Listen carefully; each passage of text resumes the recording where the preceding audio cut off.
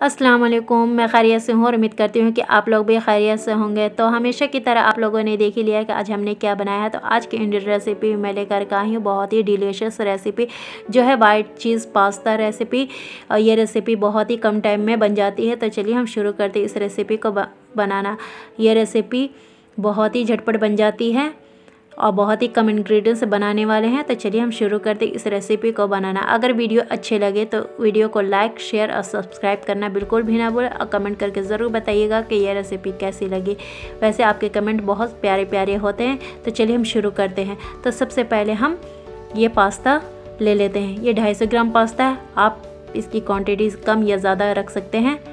तो अब हम चूल्हे पे ये पानी चढ़ा लिया हम।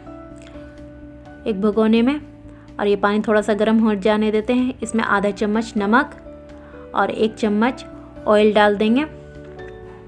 ऑयल से क्या होता है कि पास्ता चिपकेंगे नहीं। तो पानी में उबाल आने देते हैं। दो से तीन मिनट के बाद तो ये देखिए, पानी में उबाल आ चुका है।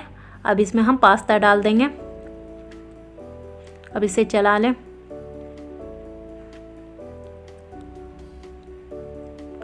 और इस पास्ते को दो से तीन मिनट तक अच्छे से पका लेना है। तो ये देखिए, तीन मिनट हो चुके हैं। अब पास्ता को हम चेक कर लेते हैं। तो एक नाइफ के हेल्प से इसे कट करके देख लेंगे कि ये पका है या नहीं। तो ये बिल्कुल परफेक्ट पक चुका है। तब इसको हम छान लेंगे।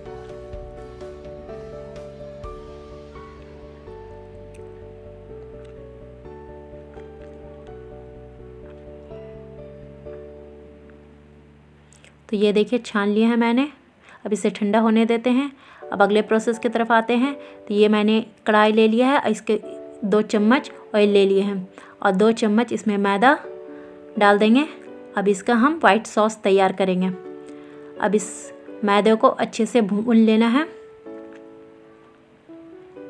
दो से ढाई मिनट तक। और गैस का फ्लेम बिल्कुल लो रखें। इसे कलर नहीं लाना है बिल्कुल। इसका मैदे का जो फ्लेवर है, कच्चापन इसका ख़त्म करना है। तो इसे दो से ढाई मिनट तक इसको भूनते रहें। तो ये देखिए, ये भून चुका है। अब इसमें हम एक कप दूध डाल देंगे और हाथ चलाते रहे कंटिन्यू वरना इसमें लम्स बन जाएगी। तो ये देखिए, इसी वक्त एक टमाटर और ये हरी मिर्च काट के डाल देते हैं। आप इस वक्त कोई सा भी आप अपने हिसाब से सब्ज़ी डाल सकते हैं। अब इसमें हम पास्ता डाल देंगे और मिक्स कर लेंगे। अब इसमें थोड़ा सा नमक डाल देंगे। नमक हमने पहले भी डाला है, इसलिए थोड़ा सा और ये आधा चम्मच चिली फ्लेक्स।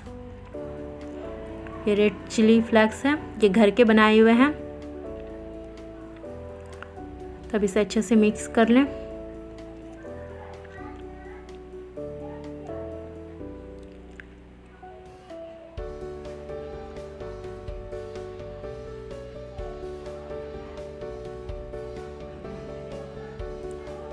ये देखिए, अच्छे से मिक्स हो चुका है। अब इसमें हम ये चीज़ के स्लाइस डाल देंगे। ये दो चीज़ के स्लाइस है। अब इसको डाल करके इसके मिक्स कर लेंगे। इस पर ज़्यादा मिक्स नहीं करना है। बस इसको उलट पलट करके हल्का सा मिक्स कर लें।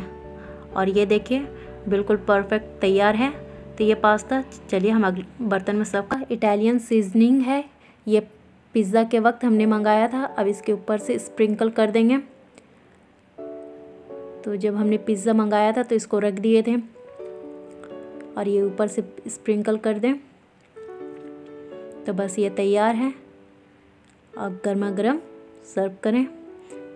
तो आज उम्मीद करती हूँ कि आज की वीडियो पसंद आई होगी। अगर वीडियो अच्छे लगे तो लाइक, शेयर, सब्सक्राइब करना बिल्कुल भी ना भूल। कमेंट करके ज़रूर बताइएगा कि ये रेसिपी कैसी लगी। तो नेक्स्ट रेसिपी में मिलते हैं। अल्लाह हाफिज़। Thanks for watching.